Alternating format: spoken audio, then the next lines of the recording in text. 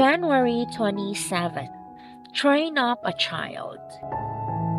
So Jesus told those Jews who had believed in him, If you continue in my word, you are really my disciples, and you will know the truth, and the truth will set you free.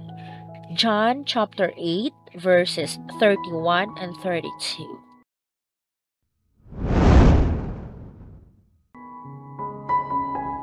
As early as I can remember, my parents put two very important gifts into my heart honesty and the art of apologizing.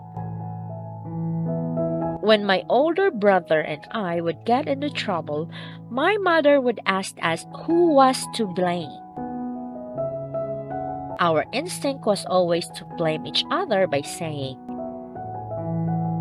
It wasn't me, or I didn't do it.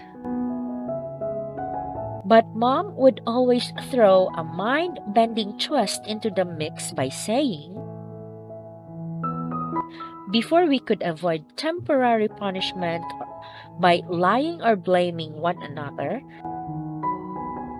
whoever tells the truth won't get into trouble, even if it was you.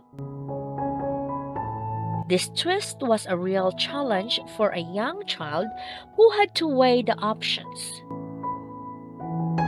It took a great deal of trust to rely on mom's word and a great deal of restraint on her part. Her emphasis on honesty was our teacher and I quickly learned that telling the truth about bad behavior and mistakes would always be my best option. My father would often discuss the actions we confessed and determine if an apology was needed.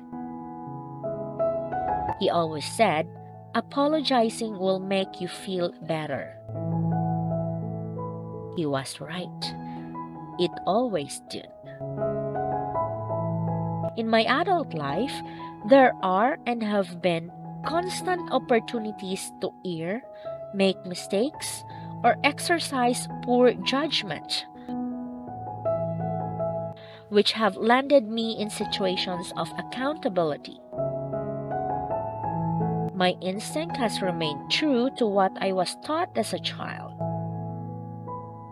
If I'm honest, the result will always be better in the end. And the response to a person's honesty is usually the same. It's rare for someone to become enraged when the other party simply says in complete honesty. It was me. I made a mistake and I apologize. How can we move onward and upward from this situation? The nature of most people is to forgive and understand because who hasn't made a mistake? This first act of humility brings out the second act of grace. No matter what the wrong, we can always confess and ask for forgiveness.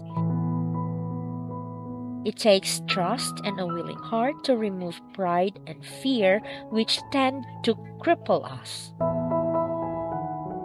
My mom had the right idea about following God's teaching on honesty and forgiveness.